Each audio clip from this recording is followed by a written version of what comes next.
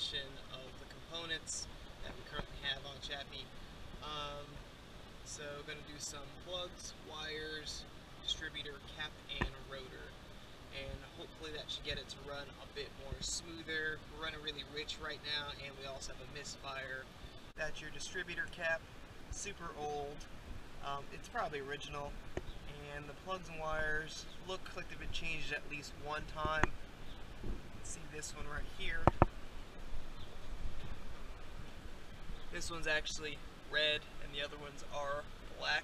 So I'm assuming that one was changed out at some time. Um, yeah, so I'm gonna give it a cold start right now and you'll be able to see and hear and probably feel how bad it's rocking.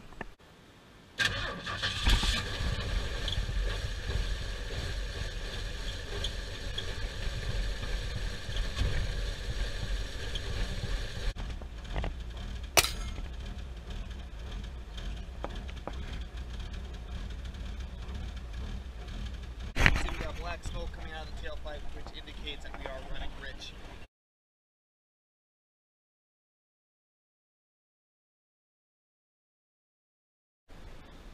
Extremely worn down. Even has a little spider sack in there. It's been in there for quite some time.